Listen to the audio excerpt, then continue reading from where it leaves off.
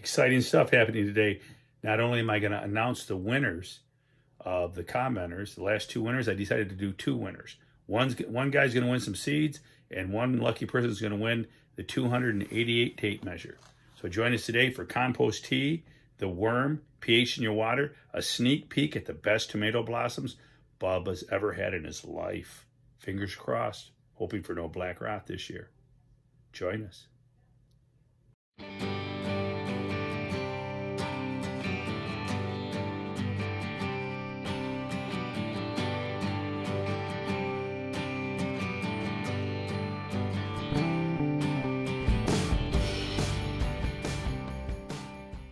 July 31st, meet the worm.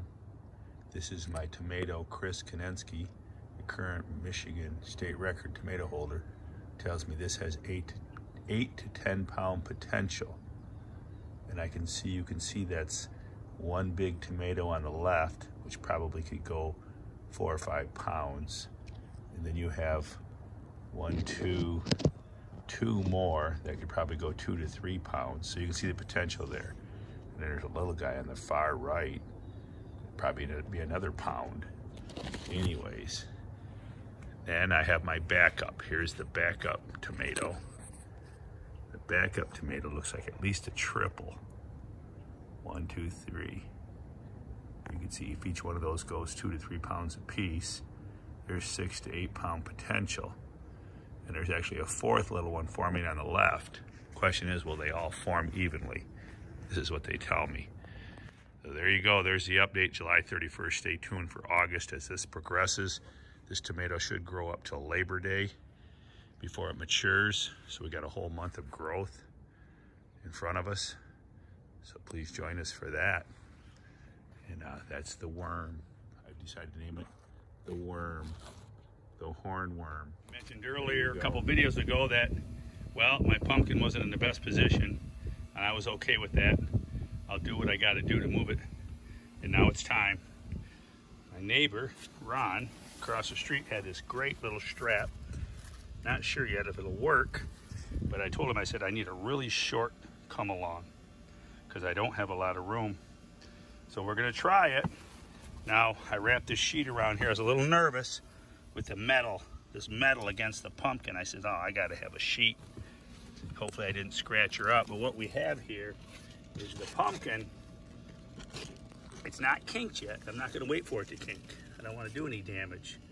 It's already slowed down, I believe, due to the heat and the condition of the plant's a little rough.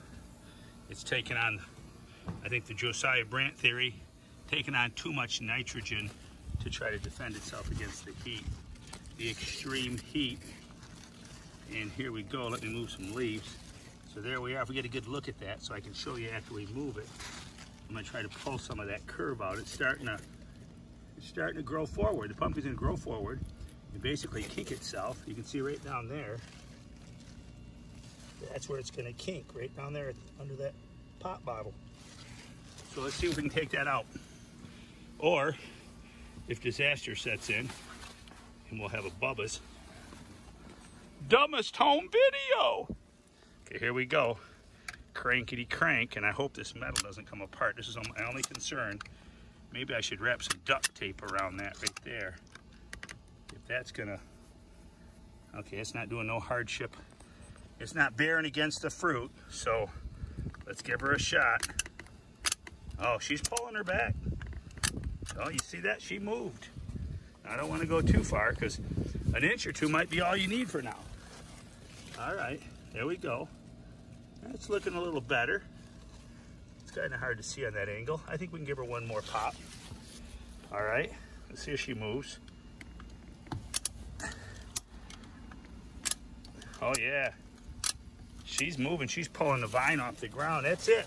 And actually now, can get my finger under the pop bottle. It was touching. That's all I'm gonna move it. There you go, she's gonna be a beauty. She probably, my goal is a thousand pounds. If I can hit a thousand pounds, I'll be happier than a pig in stink. And a nice pretty orange pumpkin with the genetics. I can't wait to grow the 1734 times the 1885 Werner. and stay tuned. I'll show you my little secret brew, brew coming up. The secret brew I'm using on my tomato and the pumpkin this year. All right, good luck. Be careful. Cranking them back. Here's Bubba's secret compost mix. All right, I actually didn't pay that much for it. I got it for like $52. You get a discount at the uh, hydro stores. All right, I went to the Holly Hydro. And anyways, here you go. Compost tea, natural organic base. I looked this stuff over. It looks like very, very good stuff. All right, I'm thinking this year I slacked off, got complacent the last couple years. I'm gonna go back to using compost teas. I know Pete Vanderweilen told me he used the heck out of it, growing 1,900 pound pumpkins, 2,000 pound pumpkins, seven pound tomatoes. So hey, I can't go wrong. But look at this stuff here. It looks like it's a honey. It says uh, right here, I was reading it. Oh, it's got the endomycorrhiza. It's got trichoderma. Also derived from earthworm castings, bat guano, seabird guano, fish meal, crab meal, kelp meal, alfalfa meal, blood meal, uh, let's see, bone meal, feather meal, fish, fish bone, azomite, rock phosphate. What is that? That's uh, lang, langbeinite, shrimp meal, insect frass, neem seed, and uh, is that Blue, Blue Oyster Cult? No, that's not Blue Oyster Cult. That was a band in the 70s. Oyster Shell. Okay, I need to adjust my glasses before I make a spectacle of myself. All right, here we go. Available phosphate, 1.98%. Potash, 10%. We know potash, potassium's big. That's big. Josiah Brand will tell you about pulling the potassium out of the soil to put pounds on your pumpkins at the end of the season. Calcium, here's calcium, 3.8%, 84%. Magnesium, which is your sulfur, your Epsom, a little of that thrown in there. So there you go. The total nitrogen is low, which I like that because I'm blasted with nitrogen. Nitrogen is only 1.85%. So anyways, basically, this is what I'm going to try this year for compost. I'm going to start feeding this to the tomato and the pumpkin starting tomorrow morning. I got a pot brewing now. Let's go to the kettle. Post tea kettle. I have the uh, cardboard box on there to shade it against the sun. Although we're getting some cloudy weather today, it's kind of nice. I covered the plant Sure as I cover the plant, then we cloud up. I'm still trying to give it filtered sun because the pumpkin plant is, it's pretty harsh, man. It's pretty rough. It's a rough year. So here we go. Apologize for the noise. Got the air conditioning going. Can't turn that off. Mama Bubba kicked my butt. All right, so here we go. I set this up. I took one of those five gallon paint strainers. I put a couple pounds in there okay, of my compost tea mix that I just showed you. And we got her bubbling. We got her bubbling and brewing. That's about 30 gallons. I had let the water set overnight and bubbled a couple hours to get the chlorine out of it before I actually put this all together. And it's not gonna, it says 24 hours. It recommends like a 24 hour bubble. This is only gonna have like from noon till 8 o'clock tomorrow morning. So I think uh, where I went to school, that's 20 hours. Jay at the grocery shop said that's fine. 20 hours will work. You don't want to go. It's better to go a little on the low side than to brew it too long. If you start brewing it too long, it gets nasty, has a kind of an adverse reaction. So there you go. My 32 gallon can. It's gonna be Bubba's pot. It's very simple. I use a Wayne's pump. I'm gonna pump it out, water it in with my Wayne's pump. And there you go. Be back tomorrow morning to do that. All right, keep them growing. I'm also going to start using it on the tomato because last year I got black bottom tomatoes. So not only am I using copper and manzanite on the tomatoes, I'm also going to use a compost tea, which has the calcium and the potassium. It ought to balance things out. I, I best not get black bottoms this year or something's real, real strange. All right, we're still growing, remember, in the Dairy Doo compost. All right. Post any questions below, comments, and we we are going to give away some seeds. I've given away a couple of the tape measures. I will announce who the winner of the tape measure is in this video, and then next video, we're giving away pumpkin seeds. I had a request on one of the comments. So uh, also, you know, request anything you'd like to see, any topics you'd like to learn about, post them up there and we'll do a video. try out my tea, and I thought, you know, I'm gonna get out the pH meter, and uh, I haven't done that this year, and the pH is showing like eight. I will take this meter down to the hydro store and have them check it for accuracy. I'm checking it. This is Daizani water. Daizani water is showing 8.8. Wow, almost nine. That's wow. I have to make sure this thing's accurate. That could be part of my pumpkin slowdown problem. My pH is, if these readings are true, and my pH is this high, I need to get some pH down and start watering with some lower pH. I will do that, especially even on the tomatoes. I'm sure they like a little more, much more acidic than this. All right, just breaking out the big guns.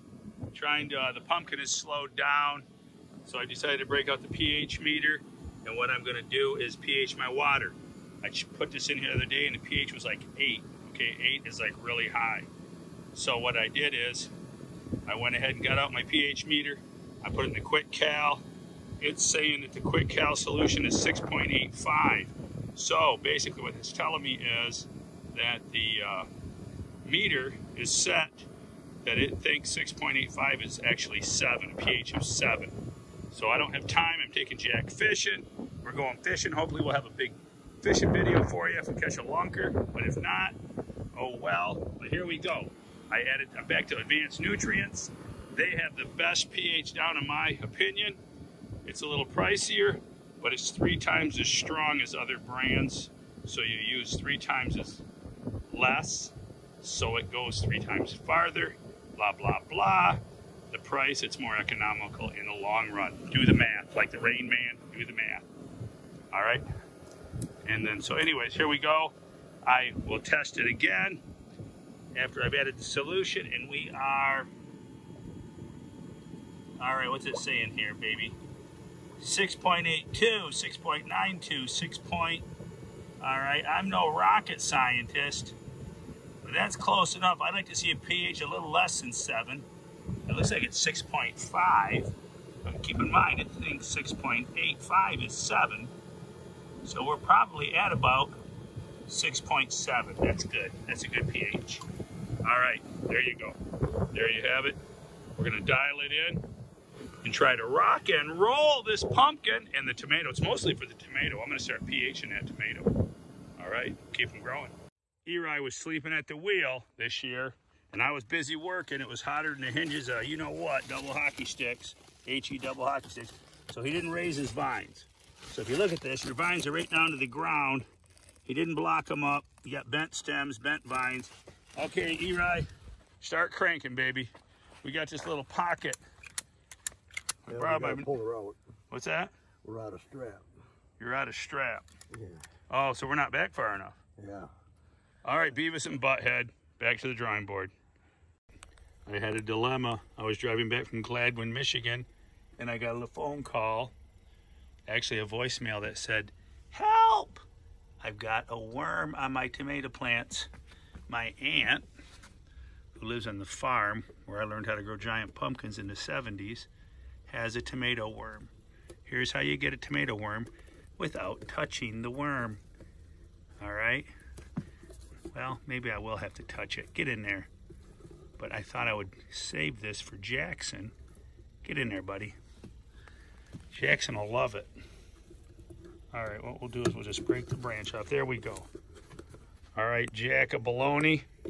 We're going fishing. There you go. One big tomato hornworm, hornworm ready for the bass pond. Coming to you. Hey, keep it a secret, but go tell a friend. Bubba's sharing home and garden tips. Worm in a jar. My aunt is hiding in the house as I am searching the tomato plant for more. She says, you got to inspect the plant, make sure there's not more. So I told her, I said, how you look for them is you look for the bare naked branch. That's where the hornworm has been. So when you see a bald spot, you know there's a hornworm not far away. But I don't see another one. It's okay, it's safe to come out, Aunt Carol. She don't like them. Yuck. Not even a little bit. She can deliver a horse, but she can't touch no hornworm. All right, Jack will be thrilled. There you go, Jack. We're on our way to the fishing pond. All right, I'm excited to tell you the winners this week. The tape measure goes to seven shooter, seven shooter 83. You were randomly chosen as this week's winner. I picked the winners off of the 10K tomato video and also off of the uh, 30 day video. All right, we have one more special winner, Robert Tyndall. You have won pumpkin seeds of your choice. You can choose long gourd, giant pumpkin, giant tomato. I'll give you a menu. Tell me what your choice is. Email me at mark at worldwidegiantgrowers.com. I hope everybody enjoyed the videos today. Please join us. This amazing tomato keeps growing. It's unbelievable, man. I'm just excited about it. Um, it's like a five lober. And then the other one is just developing. We'll have some more footage of that next week. So please join us. And hey, remember, turn on your notifications, subscribe to the channel, and comment. We'll have more seeds to give away in August. And if I get enough comments, people requesting tapes, I'll give away another tape measure. Tell me what you'd like to have, what you'd like to win. Please join us. And remember, keep it a secret, but go tell a friend. Bubba's sharing home and garden tips around the world. Join us.